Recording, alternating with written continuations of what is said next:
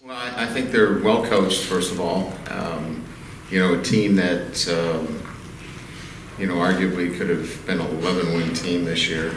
Um, defensively, very stingy. They're, they're 3 5. 3 is, um, you know, a challenge in terms of what they do. You don't see much of it um, relative to week to week. So there are some some nuances to that defensive structure that you know require some time and some game planning. They play extremely hard on defense. Um, so well coached, play hard, play for four quarters. Um, that's the defensive piece. Offensively, outstanding quarterback, really good running back, young, young, talented back. Uh, the tight ends are outstanding and a playmaker on the perimeter. So um, it's a talented offense too.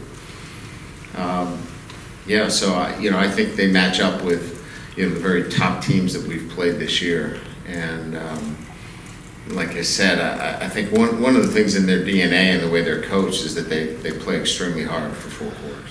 Yeah, that's a good question. I was a little, um, I guess I was um, cautious early on um, because you know you heap a lot of that on a young man early on, and you you wonder if it's too much for him.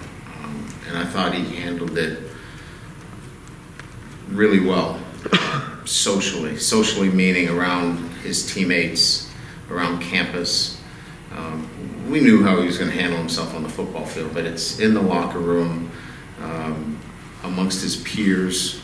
He's never been a guy this year that has walked um, you know, taller than his, his teammates. Um, and, and that, that says a lot about him. Uh, so there's a, there's a humbleness to him as a great player that um, is a great distinction that he, that he carries. I just think more than anything else is just clearly everybody uh, feeling comfortable with everybody being on the same page. Clearly having the kind of um, and I know I've probably said this 10 times, but what is collaboration? And collaboration is sitting down, talking it out, um, being on the same page with direction towards that. And I'm giving them, um, I've gave the, the staff some direction in terms of what we should look like, and they've, they've done a really good job of moving forward. Um, and again, it's not for the untrained eye, I think you're not going to see a whole lot of difference. But for those that really study our offense,